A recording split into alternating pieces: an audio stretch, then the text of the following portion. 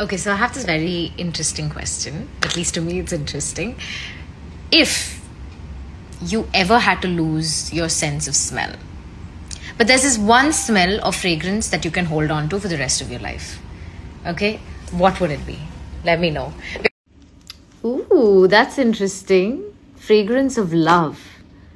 So, is that what? What is that? Is that um, the fragrance or just anything that reminds you of your loved ones, like a special fragrance of your mom or your partner or your pet, something like that. That's nice. So I've got a lot of petrols as answers, and a lot of people have said it's weird. I know. Don't judge, dude. Who is judging? Like, who doesn't like the smell of petrol? Tell me. I was obsessed with it when I was a child because when my dad was around and we take the scooter out, every time I'd look forward to going to a petrol bunk, and the moment the the you know the the valve the lock is open to fill it in my nose would be in there smelling it. And i would just not want to leave. And then it was super embarrassing for my dad. But nonetheless I completely agree. It's extremely addictive. Not anymore, though. I don't uh, enjoy it as much. Um, uh, but I I agree. Lot of RCB fans in my DMs. Isala cup namde guys. But the smell of RCB equals to smell of Virat Kohli. Interesting. Even I like that. I think he smells good. I don't know. But okay.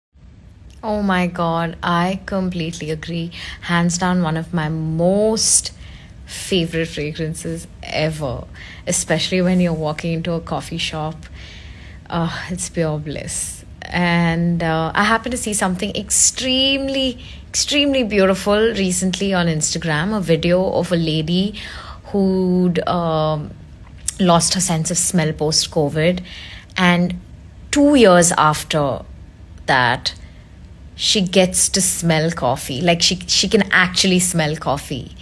And she was weeping. And it was, it was so so sad. I don't know smell i mean it's it's we we underestimate it or we don't give it that much credit but it's so important because it connects you to so many memories in life you know if you think about it.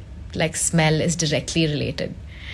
It just takes you back so that's the director of Samajavaragamana talking, but it's true.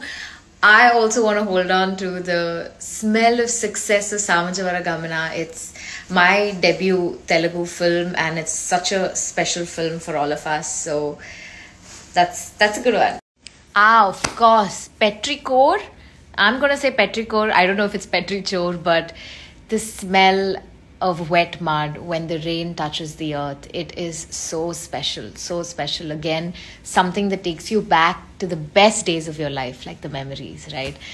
I want somebody to just figure out how to store that in a bottle, like a perfume. Help.